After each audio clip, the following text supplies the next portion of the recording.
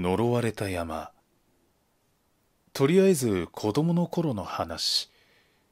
今は都会へ引っ越してきてるんだが子供の頃は村っていうか集落かもしれないところに住んでた時の話。俺ん家の裏には山があった。何の変哲もないただの山なんだが詳細はそうでもなかった。その山は村で呪われていると噂されてたんだ。だから両親や祖父母からは絶対に行くなと念を押されたし俺もさすがに行かなかったんだ。何でも山に入るとそれを機に良くないことが起きるらしい。それか山の中で遭難もしくは神隠し。村では有名な心霊スポットであり誰も行かない心霊スポットでもあった。でもそんな中一定の人間だけは山へ行くことがあった。それはいわゆる旅行客。おそらくこの村内だけの噂だったんだろうな。山が呪われているってのは。村には何のお土産屋もないし正直言ってなぜにこの村に旅行客が来るのかそれが何とも疑問だった。そして山へ行くことも疑問だった。しかしだ旅行客は山へ入って何も起きなかったかのごとく降りてくる。いや実際何も起きなかったんだろう。旅行客が言うには山の奥に廃れた神社があったそうだ。他の旅行客も口々にそう言ってたから本当なんだろうなと俺も思った。である日学校で友達が山の奥の神社の話を俺にした。友達が疑問に思ったらしい。なぜ神社がある山が呪われているのかと。俺も言われて気づいた。確かに変なもんだと思った。そこで俺たちは提案したんだ。山へ行こうってね。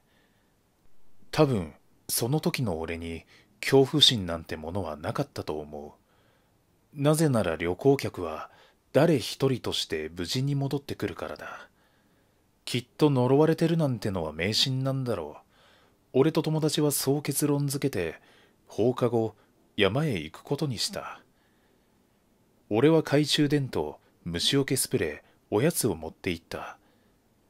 あれだな、神社でおやつにしようぜって話になったんだよ。友達も俺ん家に来て山へ入ることになった。もちろん親には言わなかった。まあ結局山へ入る時も何の異変も感じなかったんだ。多分気分がハイだったからかもしれないが、放課後ということもあり、日も沈みかけていたんだ。こりゃおやつ食う暇なんてないかな、と、達観してた俺と友達は、無事神社へ着いた。でも、ここに来て、やっと俺たちは後悔することになったんだ。神社の、ちょうど、社の奥から何かが覗いている気がしたんだ。そこで俺たちは固まった覗かれている気がしただけで実際に覗かれているかは分からなかったんだけど気分が悪くなった。友達は顔が引きつっていた。逃げようと思いきびすを返そうとしたら体が全く動かなくなった。やばいと思った。呪い殺されると思った。でも体が動かず頭がクラクラする。するとどこか遠くの場所でゴトンという音がした。金槌を地面に落としてしまったような音がしたんだ。そこで金縛りが解け俺はすぐさま友達の手を引っ張り逃げ出した。途中何度も木の根に足をすくわれた。転びはしなかったが、転んだらおしまいだろうと思った。ふと気づいた。さっきまでほのかにまだ明るかった空が闇に包まれていることに。恐怖心は肥大し、異変に気づいた。後ろから何かが追ってくるように感じた。いや、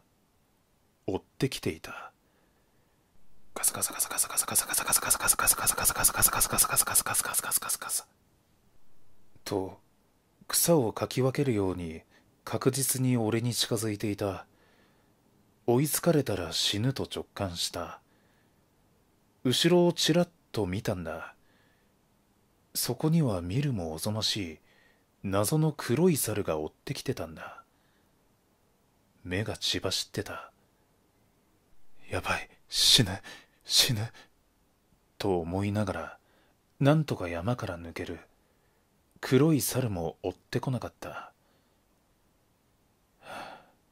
とため息をついて震える手足でなんとか家に帰った。というかうちはすぐ目の前だったしな。その夜うちのみんなはなぜか暗かった。特に祖母は何かブツブツつぶやいていた。お経だったかもしれない。もしかしたらバレたかと動揺したが別に何も言ってこなかった。飯を食い終え電話が来た。俺は未だ山での恐怖を忘れられず母から離れなかった。電話の内容も聞こえた。そこで唖然としたんだ。電話をかけてきたのは俺が山へ一緒に行った友達の母親からだった。〇〇が家に帰ってきてない。そちらにいないかとのこと。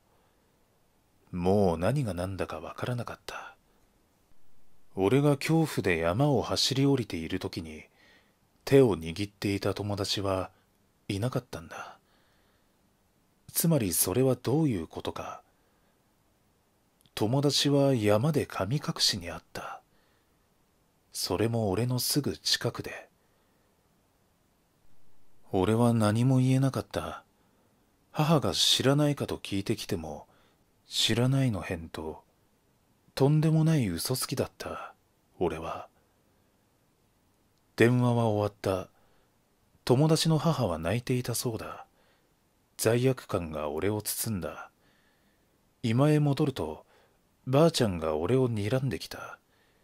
そして開口一番に山へ行ったのかだった。俺はなぜかうなずいてしまった。そうせざるを得ない気がしたんだ。するとばあちゃんは老体とは思えない素早さで俺に飛びついてきた。どうして入った？あそこは呪われている。お前は疲れた。じき取りに来るぞ。そうばあちゃんが言った。取りに来るとはあの猿のことなのだろうか。俺の恐怖心はマックスだった。お前の友達も言ったんだろう。その友達はお前の身代わりになった。そう言われた俺は気を失った。友達が身代わりになったと聞いて目の前が暗くなった。それから時期は今に戻る。俺には何の異変も起きなかったのが幸いである。友達には謝っても謝りきれないほどだ。呪われている山。その山と村には一つ関係があった。住んでいた村は昔人食いの村だったそうだ。今となってはそんなものは迷信に近いがはっきり言うと呪われているのは村の人々の方だった。つまり俺も。人食い人種の汚れた血を今なお濃く引き継ぐこの村は神聖な神社にとって嫌われている。どういうことかばあちゃんに聞いたところ山の神社の守りが強すぎるそうだ。あんな廃れているようでも効力は健在らしい。つまり呪われている人々があんなところへ近づけば良くないことが起きるのは当たり前。だから旅行客に異変はなかった。友達は俺の代わりとなり俺には異変が起きなかった。と結末はこうだった。最初から山など呪われていなかったんだ。あの猿のようなものは山の神様か何かかもしれない。俺は正月やお盆でも村に戻ろうとは思わない。